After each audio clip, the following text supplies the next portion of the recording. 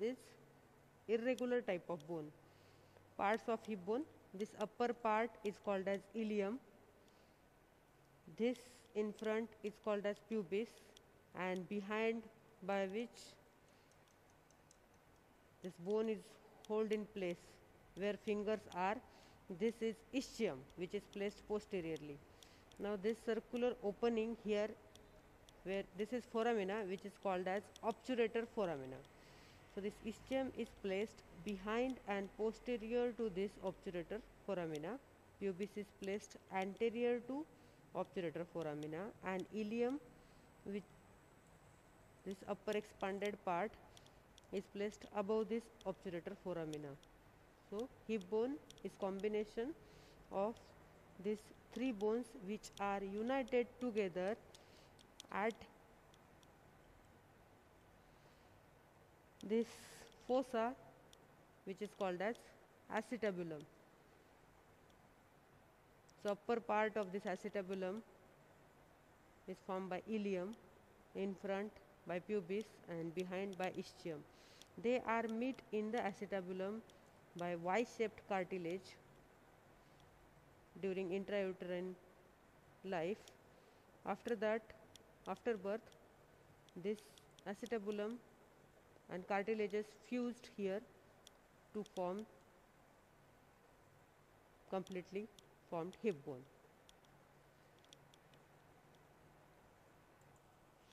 Now, now we will see in details of, about ilium. This upper blade of ilium is called as iliac crest, iliac crest and anterior most point of this iliac crest is called as anterior superior iliac spine. If you trace this anterior border below, another pointed point here is called as anterior inferior iliac spine. If you trace this iliac crest behind, this point is called as posterior superior iliac spine and below that this another point is called as posterior inferior iliac spine. Now this ilium is having this medial surface and this gluteal surface. This surface is gluteal surface and this is this is medial surface which is divided by this medial border into iliac fossa and sacropelvic surface. So, this surface is sacropelvic surface and this is iliac fossa separated by this medial border. Now, if you look carefully at iliac crest, this iliac crest is sinuously curved. So, for descriptive purpose, it is divided into ventral two third and dorsal one third. This part is ventral two third and posterior this part is dorsal one third. Now, this iliac crest is having inner lip and outer lip. Now, highest point on iliac crest is not exactly the middle of this iliac crest. It is just behind the middle point of iliac crest and it corresponds with L4, L5 vertebra.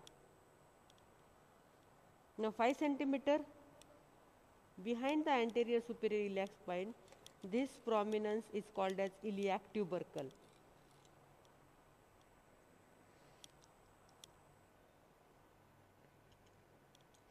Now the sacropelvic surface, I told you this is iliac fossa and this is sacropelvic surface.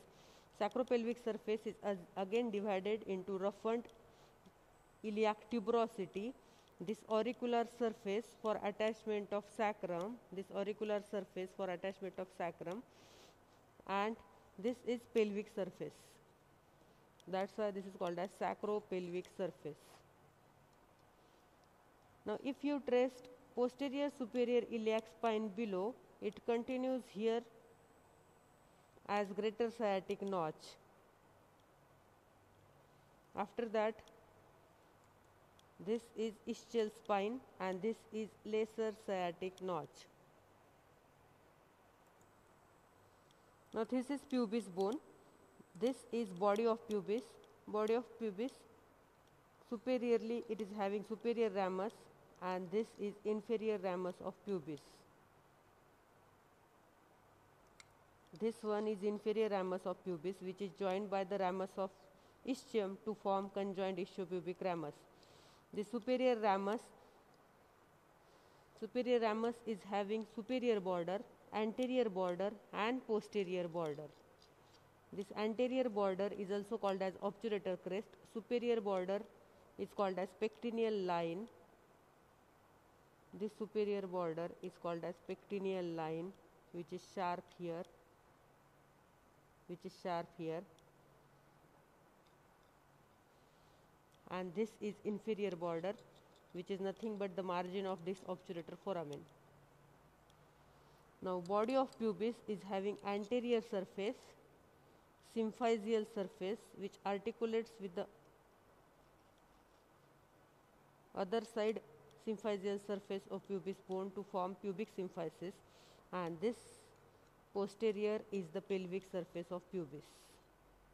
This is pelvic surface of pubis. In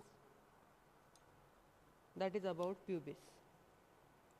Now this is ischium. This is called as ischial tuberosity.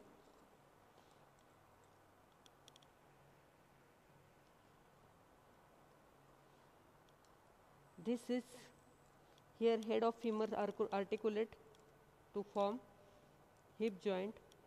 So, this is femoral surface of pubis and this is inferior ramus of pubis which joins with the inferior ramus of pub, uh, pubis to form conjoined ischiopubic ramus.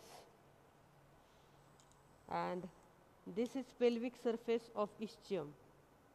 This is pelvic surface of ischium this pointed point here this pointed point here is ischial spine ischial spine above ischial spine this is greater sciatic notch and below ischial spine this is lesser sciatic notch which are converted by sacrospinous and sacrotuberous ligament into greater sciatic foramina and lesser sciatic foramina.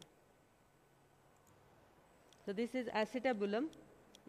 This is rim of acetabulum where acetabulum labrum attach and deepens down this fossa. This is articular surface, this surface which is lunate shaped is the articular surface. This is acetabular fossa.